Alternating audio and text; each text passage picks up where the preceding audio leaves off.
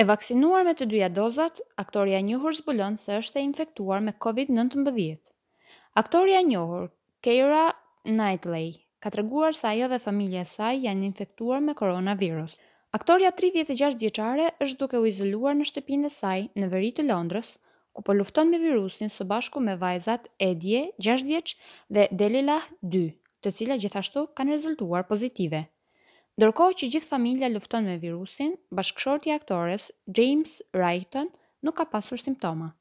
Keira gjithashtu bëri të ditur se vajzat e saj po ndiheshin më mirë se ajo edhe pse ajo i kishte marrë të dyja dozat e vaksinës. Aktorja po rikthehet për të punuar në film me produksionin e ri të Silent Night, projekti i saj i parë madhor që nga tetori i dy mijë e njëzet-s, kur u largua nga seria e Apple TV Plus The Essex Serpent.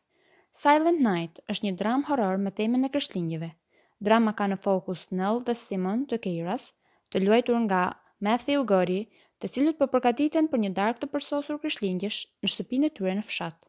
Filmi fillimisht duket si një komedi e errët, por shpejt bëhet e qartë se mbijetesa e pushimeve mund të mos jetë aq e thjeshtë. Silent Night do të publikohet në 3 dhjetor.